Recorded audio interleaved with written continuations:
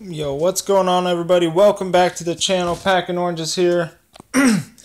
and uh, today we got another Rockies video. I've been doing a lot of Rockies videos lately. If you've been keeping up with them. But uh, today uh, is a jersey review, so um, got their home jersey right here. It says Rockies on the front. It's got like a glitter look to it. And then it's got uh, it's a majestic jersey. It's got the Colorado Rockies. Um,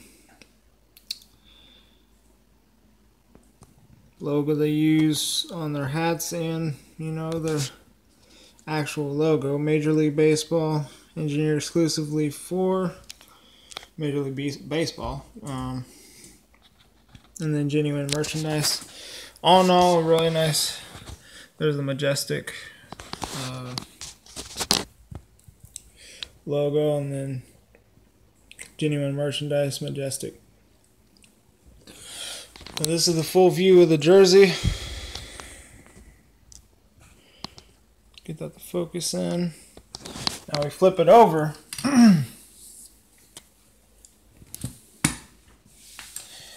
It says Gonzalez because this is a Carlos Gonzalez jersey.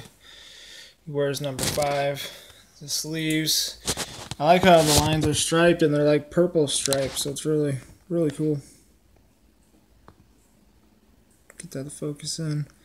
Got purple stripes.